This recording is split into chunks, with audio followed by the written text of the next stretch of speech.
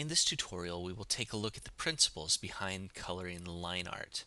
From coloring books to illustrations to logo work, the few simple ideas we'll use to add color to this village skyline will prove invaluable for a variety of projects. We'll be making use of masks, adjustment layers, and blending modes. Masks will allow us to paint freely, in effect coloring over the lines, while keeping our work confined to its proper space. One way to think of masks is to imagine that the area we've selected is where we wish to paint, and so we've used masking tape to cover up all the other areas of the canvas so as not to paint in those areas. Adjustment layers will allow us to make editable, non-destructive changes to the art as needed. Blending modes take the colors and textures in the current layer and apply them in different ways to the layers below them. Now looking at this present piece of line work, there are any number of ways in which we might add color to it. But for our example, let's focus on simple ones. There are essentially two primary sections we will need to look at, the rooftops, including chimneys and turrets, and the sky. With this in mind, let's begin.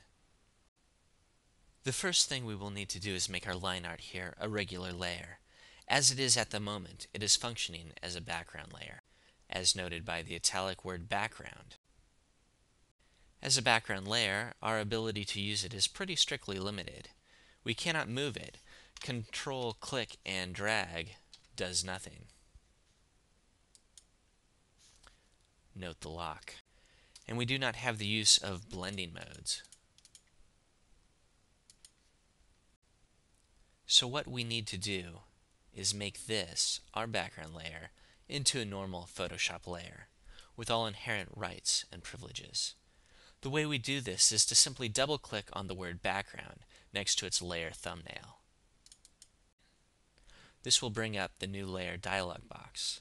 Let's change the name of this layer to line art and click OK.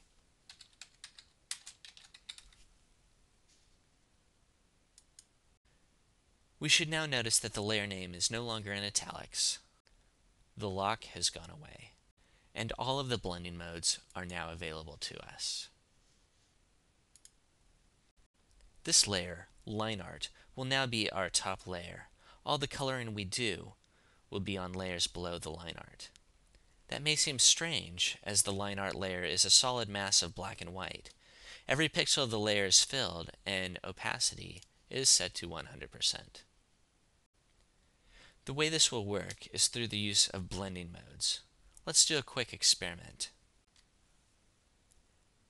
First, we shall create a new adjustment layer. At the bottom of the Layers palette, click the fourth button from the left, the half black, half white circle. This is our adjustment layer tool. Having clicked on the Tools button, we are given a number of choices. Let's select Solid Color. This will bring up Photoshop's Color Picker tool, allowing us to choose a color that suits our fancy. For now, let's choose a bright, solid red, and click OK. As we can see, the line art layer is entirely obscured by the new layer of red. And what happens when we drag the new layer of red below the line art layer? It of course, disappears completely, having been obscured by the line art layer above it. This is where blending modes will begin to come in handy. Let's see how a couple different blending modes will affect the way our project looks. Making certain that we have the line art layer selected, we can go up to the blending modes dropdown and select from the many modes. Normal will always bring us back to our default blend. Now let's try multiply. Multiply works great, turning our black lines solid while making the line art layer's white spaces appear to be transparent. This is actually the blending mode we will be using for our line art layer, but while we're here, we might as well consider two other blending modes.